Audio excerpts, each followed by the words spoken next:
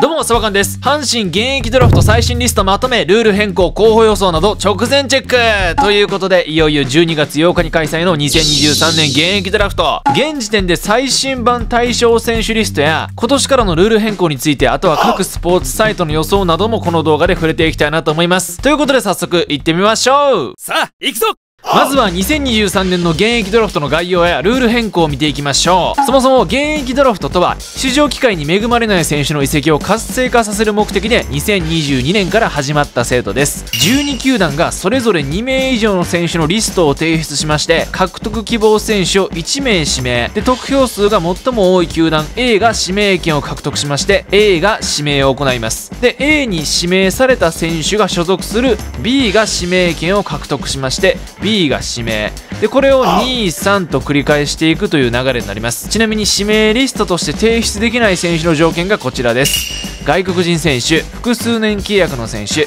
年俸5000万円以上の選手 FA 権を保有しているが行使したことがある選手育成選手今シーズンのオフに獲得した選手シーズン終了後に支配下になった選手ということでちなみに年俸5000万円以上は1億円未満の選手に限って1名だけリストアップできます。ということでこちらの条件を満たす最新版の阪神タイガース2023年現役ドラフトの対象選手がこちらです、まあ、だからこの中から2人以上リストアップされるという形ですね。ちなみにあの年俸5000万円以上とかは翌年の年俸を指しています。なので契約更改が終わった選手のみ記載しています。まだ終わってない選手でいうと青柳選手伊藤将司選手村上選手大竹選手湯浅選手坂本選手木浪選手大山選手佐藤輝明選手糸原選手中野選手近本選手。こちらの選手がまだ交渉前になっております。まあなんでリストに入ってないんですけどもただまあ現役ドラフトに選ばれることは絶対ないメンバーだと思うので安心してほしいなと思います。そしてルール変更についてですが1箇所だけ変更がありました。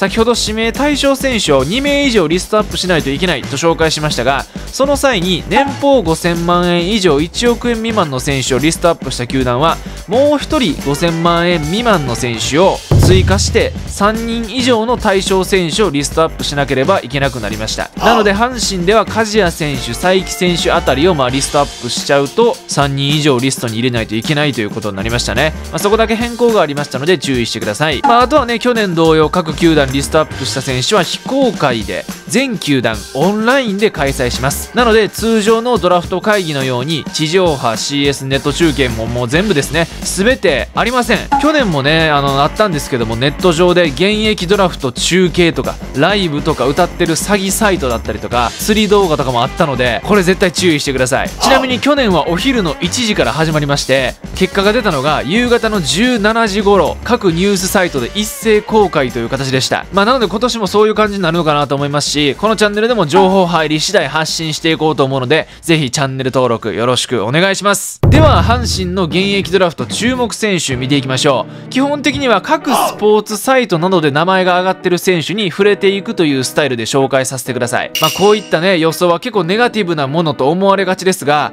現役ドラフトは環境が変われば今以上に飛躍できるかもしれない選手っていうまあポジティブなものですからそこだけ全然選ばれてる選手がダメな選手ってわけではないのでよろしくお願いします。では見ていきましょう。こちらが各スポーツサイトで現役ドラフトにあたって指名予想だったり名前が記事の中で上がっていた選手たちです。まあこの中から気になる選手をピックアップしていきたいなと思います。まずは一番名前が多く上がっていた馬場選手。週刊ベースボールベースボールチャンネルザ・ダイジェスト。スポルティーバでは高木豊さんシュープレニュースでは摂津正さんという OB たちも名前を挙げていました。2017年ドラフト1位で阪神に入団し今年がプロ6年目という馬場選手。今シーズンは19試合22回を被安打17奪三振22吉四球が8防御率2.45奪三振率 9.00KBB が2.75ということでまあ1軍でも19試合に登板していますし今シーズンの編成を見てみるとまあ貴重な右ピッチャーという存在でしたからネット上でも候補が上がるたびにまあ出すべきじゃないんかなという声も上がっていますよね。ただ阪神は今年のドラフト会議で右ピッチャーを4人獲得しまして全て大卒か社会人独立リーグ卒という状況ですよね。まあ去年1軍でも45試合に出場していた陽川選手をリストに入れて西武ライオンズに移籍しましたし、まあ、阪神もねそれで大竹選手を獲得してしているというところから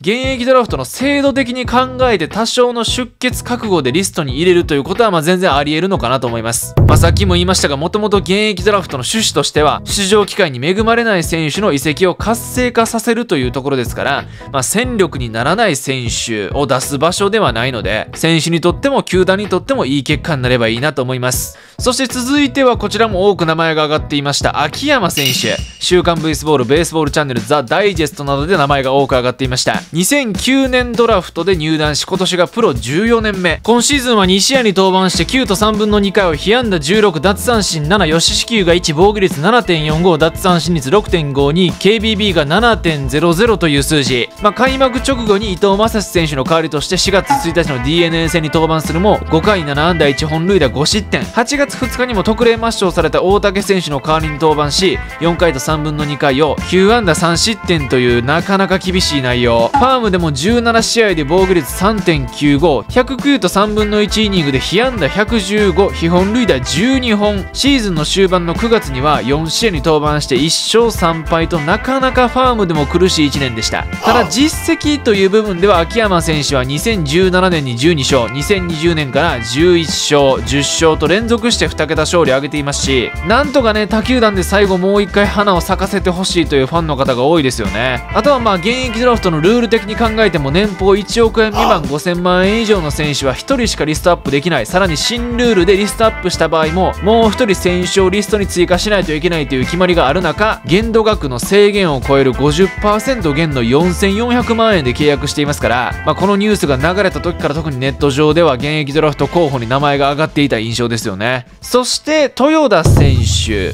ベースボールチャンネルなどで名前が挙がっていました。2021年ドラフト6位で入団し大学から社会人に行ってそこから阪神入団という流れから即戦力としての活躍が期待されていたもののなかなか思い通りになっていないという状況ですよね。1軍での今シーズン出場はなくファームでは93試合236打数64安打打率2割7分1厘日本塁打17打点。出塁率が3割4分1厘長打率3割3分5厘 OPS が676ということで、まあ、現在26歳同じく外野のスタメンにはミエセスノイジーという外国人2人と日本人選手を見てもルーキーの森下選手小野寺選手などの豊田選手よりもちょっと若い選手が台頭してますから、まあ、なかなかこの阪神の外野では出場することが難しい、まあ、頑張らないといけないというところを見ても現役ドラフトの趣旨的にもリスト入りの可能性もあり得るんじゃないかなと思っています。その他では島田選手熊谷選手上田選手などの阪神陸上部のメンバーたちが名前上がっていましたけど1軍でもね貴重なダイソーですし他球団とと比べても本当に替えが利かないようなトップレベルの技術スピードを持っていますからまあ出してほしくないなとサバ缶的にも思いますし